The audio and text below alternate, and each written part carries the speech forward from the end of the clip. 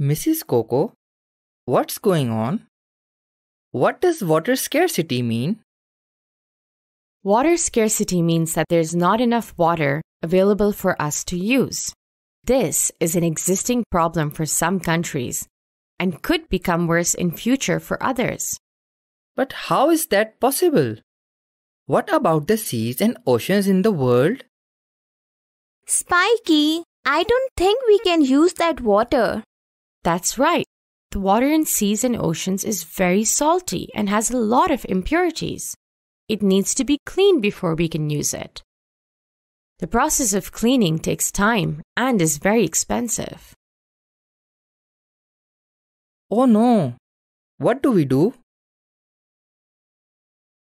Well, we can be careful with the water we have by conserving it. Let's take a closer look at the many ways of conserving water. I have some ideas. Go ahead, Bubbles. We can turn off running water when we don't need it.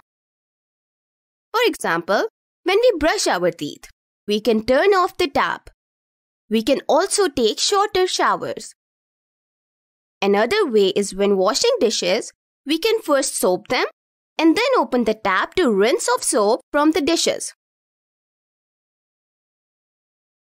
I have one. When washing fruits and vegetables, we can do it in a bowl of water instead of under the tap. These are great examples. Also, you should check your pipelines and water storage tanks to see if there are any cracks. Water can leak from these cracks and would be wasted, so you should make sure you fix any broken pipes or tanks. Mrs. Coco, these are things we can do at home. But what about the big factories and companies that use water? How do they save their water? Well, paper mills, chemical industries, and other big factories can conserve water in three ways. They can reduce their water usage by using less water in their work. Secondly, they can reuse water. If they have used water in one process, they can use it again for another process where possible. The third is through recycling water.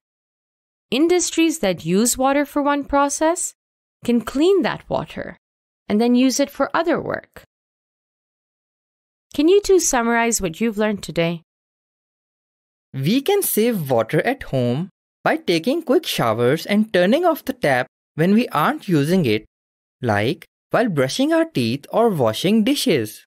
And it's important to check our pipes for any cracks and fix any leaks to prevent unnecessary wastage of water.